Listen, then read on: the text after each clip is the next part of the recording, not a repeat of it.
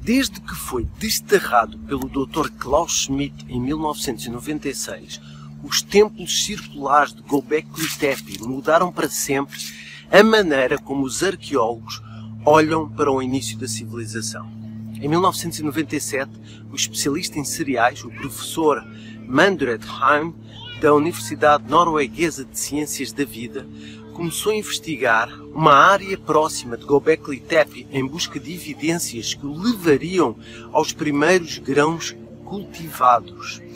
A sua descoberta de milho e cereais antigos o levou a 32 km a noroeste, na montanha de Karadag, a mesma montanha onde Anton Parks foi capaz de rastrear a versão suméria do Jardim de Éden.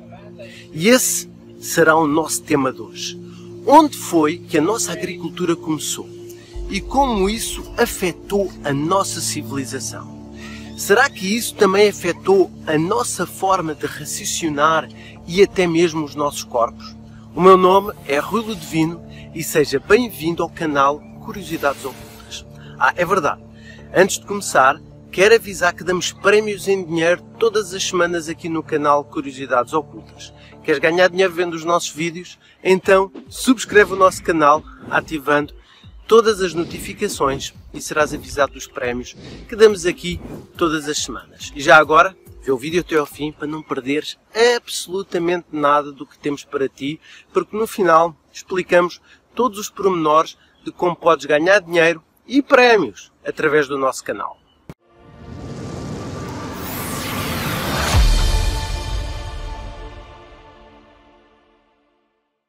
Então vamos lá.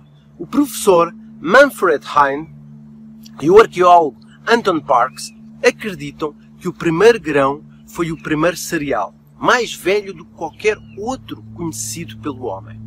Os extensos resultados de laboratório provaram que as espécies de milho e cereais datavam de 10 mil anos atrás.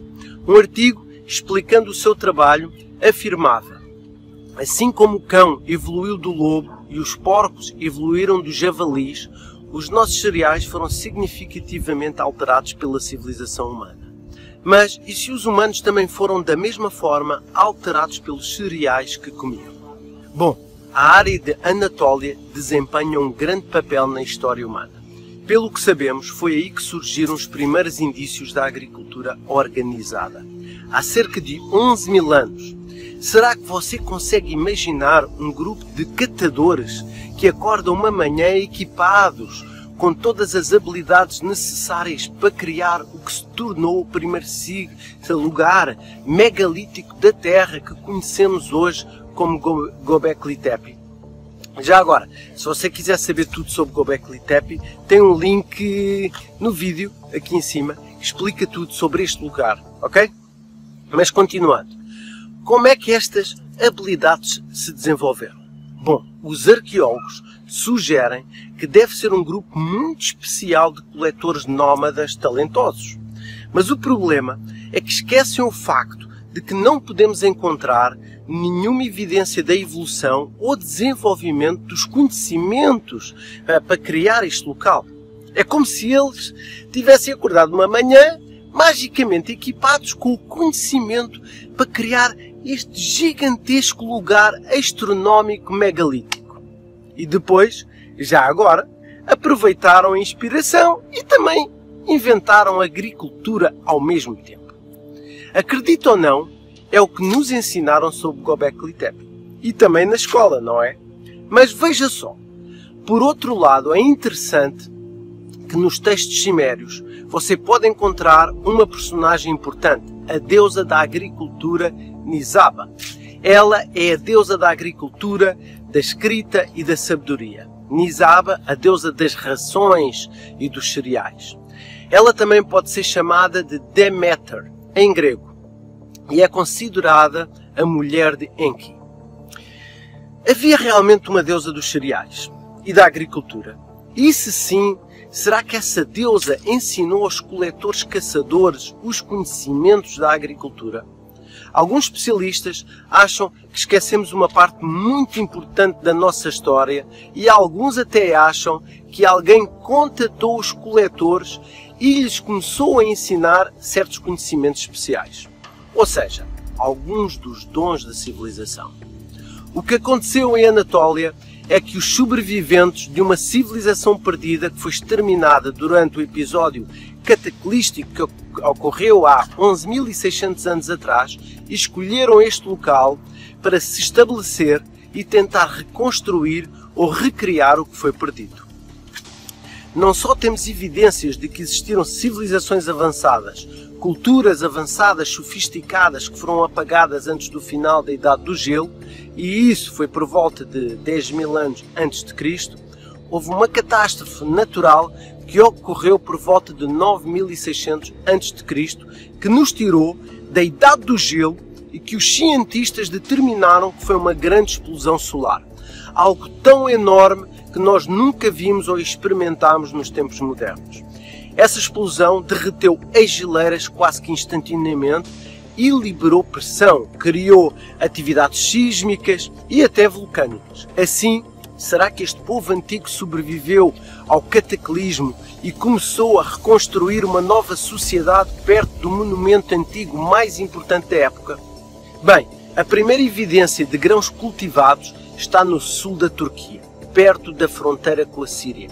Havia grãos antes disto, mas o cultivo de grãos usa um tipo ligeiramente diferente. Alguma coisa os evoluiu ou mudou.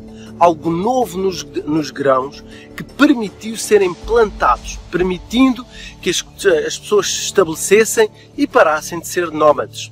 Será possível que a revolução agrícola tenha começado perto de Gobekli Tepe porque os humanos queriam estar perto do local? E para fazer isso, eles precisavam alimentar as pessoas que migraram para este antigo local após o cataclismo. Mas quão bom era o cultivo e respectivas safras. O pesquisador Billy Carson acha que pode ter sido uma intervenção ele diz que por causa do cataclismo que separou a humanidade, os pré-adamitas estavam liderando a humanidade. Naquela altura, a maioria dos pré-adamitas morreram no cataclismo. E os que não morreram se espalharam pelo mundo e começaram a restabelecer a humanidade. Para conseguir isso, era preciso saber como criar animais e como fazer plantações. Não só cereais, mas também milho. Uh, e que o que começaram a usar eram geneticamente modificados por grupos não terrestres. Eles foram trazidos de outro planeta para cá e os misturaram geneticamente com planetas locais. E sabemos disto porque quando olhamos para os registros históricos, olhando para os fósseis com datas anteriores, não vemos os novos grãos. Vemos apenas os selvagens. Então, essas chafras parecem aparecer aqui do nada nos registros históricos. Será que a manipulação genética ancestral modificou os grãos da Terra? E se sim, como é que isso modificou o DNA humano? A comida conectada à nossa estrutura de DNA pode ser rastreada até ao que podemos chamar de interação com as pessoas chamadas de Anunnaki.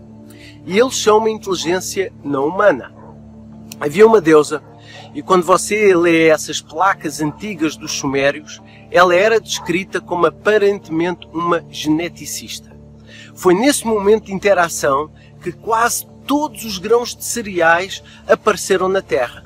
Antes disso, nós não tínhamos nada.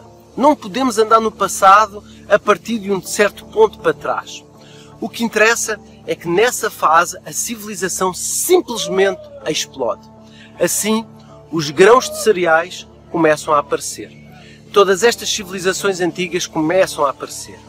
Primeiro, ah, não havia nada e de repente temos civilização após civilização. Temos matemática, cultura, estamos construindo monumentos, realizando atividades agrícolas e por isso muitas pessoas acreditam que tudo isso pode ser comparado à introdução dos grãos de cereais no nosso DNA porque eles foram afetando o DNA humano numa série de áreas diferentes.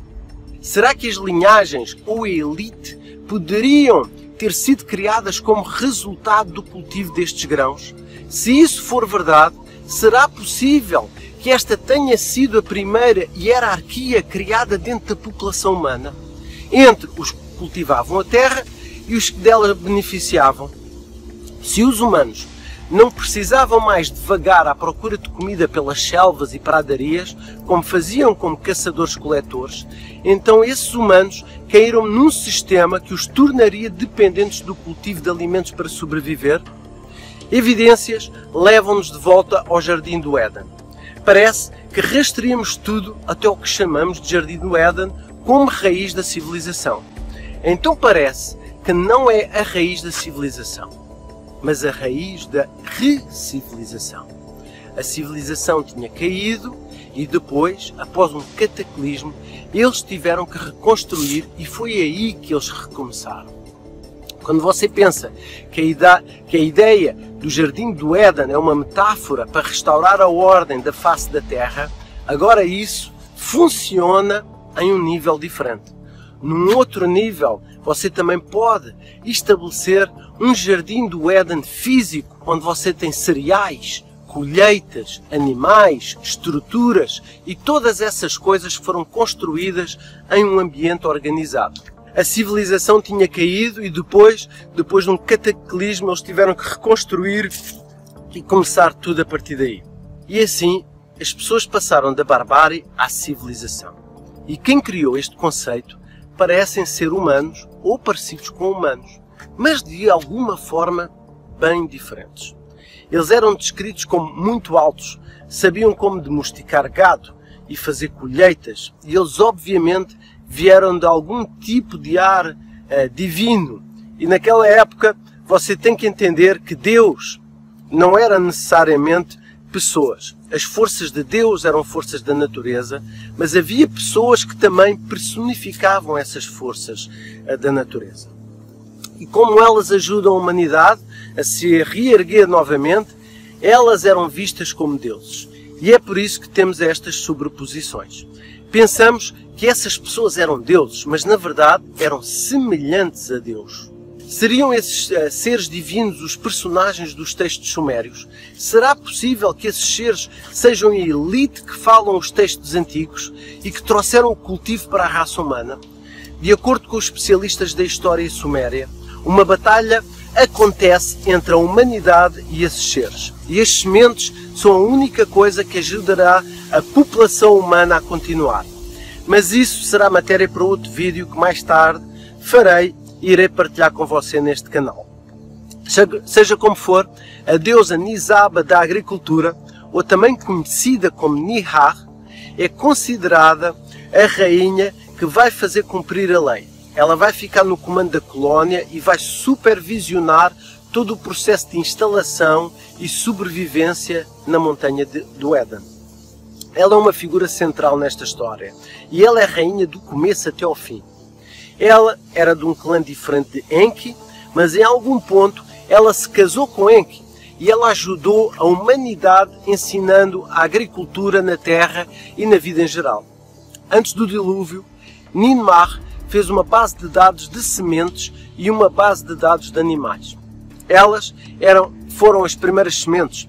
Parece que depois do dilúvio começaram a plantar de novo aquelas sementes nas montanhas, porque foi dos primeiros lugares a se livrar da água e da lama.